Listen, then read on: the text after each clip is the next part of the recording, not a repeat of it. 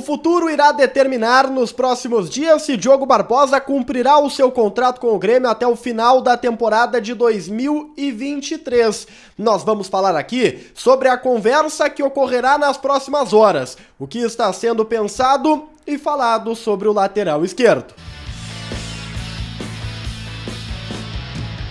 Salve galera, tudo certo com vocês? Chegando aqui no A Dupla para destacarmos o Grêmio.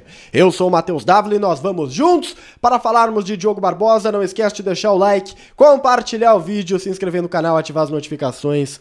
E pode vir fazer parte do A Dupla, cara. Baixa o aplicativo da Zapay, é isso aí, Zapay, Z-A-P-A-Y. Tá com alguma dificuldade aí para pagar o licenciamento? Perdeu o prazo do IPVA? Tomou alguma multa? Não te estressa, dá uma relaxada, baixa o aplicativo da Zapay de maneira gratuita, tu faz a consulta a respeito do teu veículo, seja ele carro, moto ou caminhão, e depois, cara, se tiver que pagar alguma coisa, pode pagar via aplicativo, faz em 12 vezes. É importante pagar para não ter o teu carro, né, apreendido aí daqui a pouco em uma operação da polícia, do Detran. Não te enrola, não te enrola. Usa o cupom a dupla 25 que você ganha ainda 25% de desconto nas taxas. Quero falar com vocês, cara, sobre a situação do Diogo Barbosa.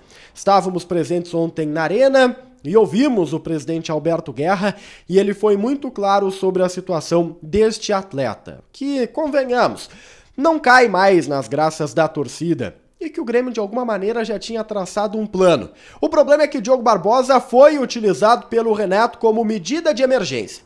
Renato já tinha conversado com a direção e a ideia dos dirigentes era dar uma esfriada no Diogo Barbosa. Ele teve que jogar muito no início da competição por conta da lesão do Reinaldo, ficou próximo do limite de jogos e no duelo contra o São Paulo entrou e fez o seu sexto jogo no Brasileirão. Acontece que agora, Diogo Barbosa, se entrar em campo contra a equipe do Flamengo, vai estourar o limite de participações para uma transferência.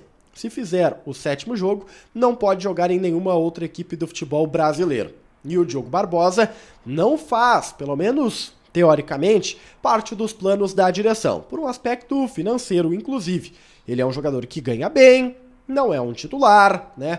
Tecnicamente existe a discussão, então a ideia da direção era, se possível, vamos repassar. E o Renato já estava ciente disso. O Renato que tinha dado alerta: olha, beleza, mas se precisava usar. Contra o São Paulo precisou, porque o Cuiabano estava com dores, o Cuiabano não estava 100%, ficou no banco, e o Renato fez a opção pelo Diogo Barbosa, até pelo cenário do jogo. Só que agora o Reinaldo o Reinaldo tomou um cartão bobo, um cartão muito bobo contra o São Paulo e não vai poder jogar contra o Flamengo fora de casa.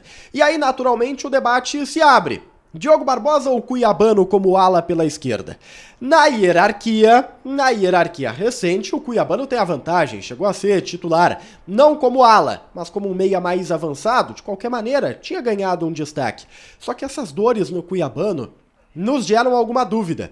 É verdade que existe uma semana inteira pela frente para você recuperar o Cuiabano e deixar o Diogo como alternativa no banco. Só que se porventura o Diogo Barbosa entrar no gramado, lá no Rio de Janeiro, acabou, não tem mais possibilidade nenhuma de negócio. E não é só sobre o jogo do Rio, nos próximos jogos, até uma possível negociação acontecer, a discussão que se dará é entre direção e Renato e principalmente jogador. O jogador será ouvido. O que o presidente Guerra deixou transparente é que a opinião do Diogo Barbosa é importante. Se o Diogo Barbosa colocar que quer permanecer no Grêmio, que está disposto e que não tem interesse numa transferência, me parece, pelo atual cenário, que a direção vai desistir da ideia de repassar o lateral.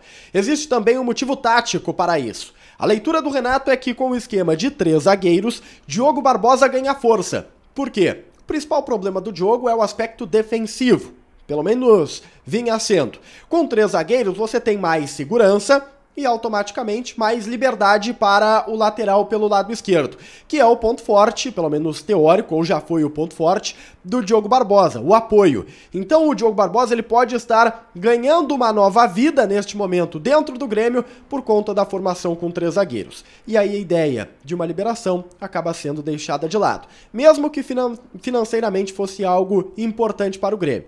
É a ideia do tricolor, a conversa vai determinar, mas pelo que eu estou escutando e pelo que eu estou percebendo, o Diogo Barbosa deve permanecer até o final do seu contrato, contrariando a intenção dos dirigentes num passado bem próximo de tentar dar uma esfriada no jogo para buscar uma negociação. Como o único clube que fez contato pelo jogador foi o Ceará, e o jogo não, não se mostrou animado, aí, né, fica mais difícil, então, utilizá-lo é o caminho que acaba virando tendência. Deixa o like, compartilha o vídeo, te inscreve no canal, ativa as notificações, vem fazer parte do A Dupla, estamos te esperando na hora da Dupla KTO, viu? Das 10 às 11 da noite, a gente se vê!